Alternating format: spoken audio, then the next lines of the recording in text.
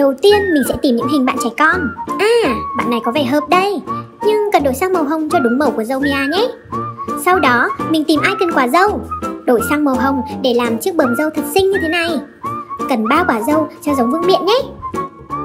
Làm kính cho dâu Mia bằng một hình tròn cắt làm đôi. Cũng đổi sang màu hồng nữa nhé. Ta-da! Thành cặp kính dễ thương rồi. Dâu Mia thì không thể thiếu gương và lược được Nhưng tất cả đều phải là màu hồng nha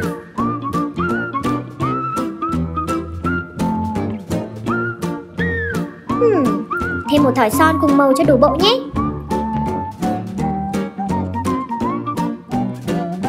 Yay! Bây giờ mình đã hoàn thiện bức tranh dâu Mia bằng máy tính rồi đấy. Các bạn muốn mình vẽ nhân vật nào nữa thì hãy comment ở bên dưới nha. Các em hãy nhanh tay đăng ký kênh để Leo Leo Shots sớm đạt nút bạc nha.